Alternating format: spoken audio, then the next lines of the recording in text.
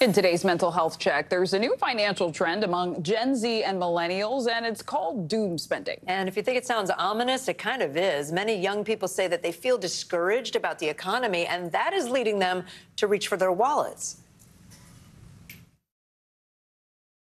Implies something. Doom spending implies something negative, and it sort of is. Basically, it's this term that financial experts are using to describe people who are shopping to cope with their stress about the larger economy. Here with us now, editor in chief of Investopedia, Caleb Silver, and alongside him, family psychologist Dr. Jennifer Hartstein, with us as well. Thank you guys for being here.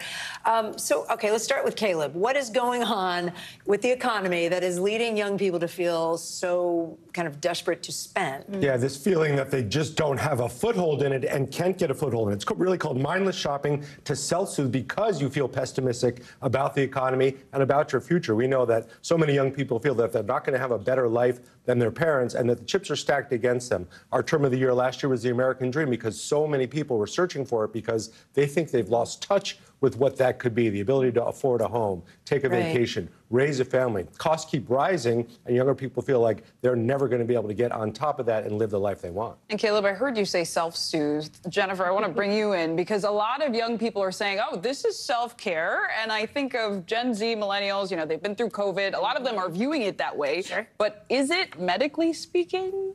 Um, yes, and it's not a great long-term solution. I mean, it is it is a great short-term solution to that momentary anxiety, right?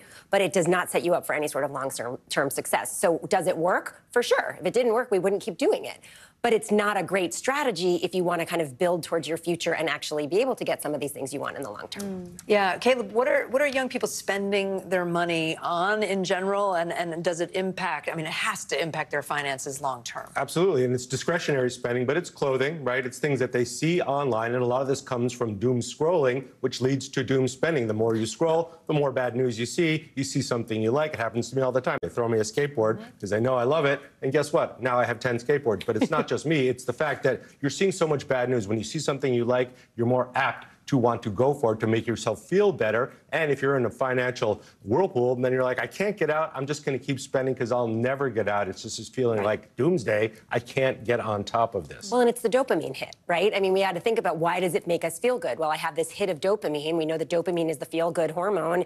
It's the neurotransmitter that makes us do more things, which is part of what keeps us in the doom scrolling cycle. Yeah. And so that hit keeps us kind of buying and going on, and then here we are, like in this awful cycle. So how do we control that, especially since so many people do it maybe as a form of control? Right. Well, first of all, we got to get off social media and put our phones down, right? Which most of us don't really want to do or think about that. But I think there are some really concrete things we can think about, like what's your budget? Create a structure for yourself.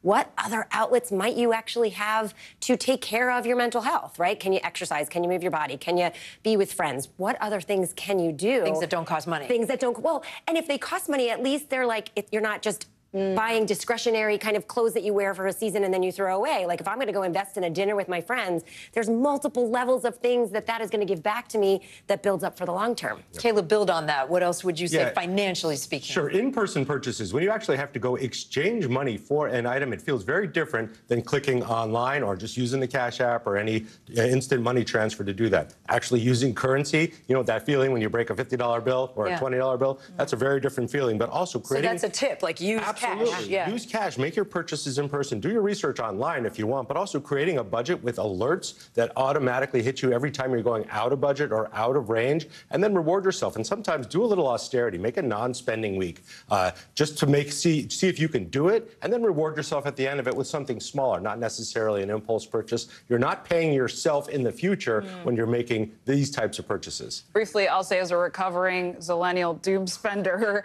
uh, is there ever a good time? Is it ever okay to just like shop a little? Sure. I think there's an important thing. Like one of the things that I do is I'm like, if I can't stop thinking about it, then it's something I want to buy. I think the key is blocking that I feel I do moment and hitting a moment of pause and taking a second and then realizing if it's something you really want and if it's bringing you joy, sure, why not? I love it, and it's a message for everyone because a lot of men are actually the ones doing the doom spending too. Mm -hmm. Just to, just to yeah. mention, yeah. research has found that. it's really interesting though. Caleb Silver, Jen Hartstein, thank you both. Appreciate it. There's much more news ahead. You're watching NBC News Daily.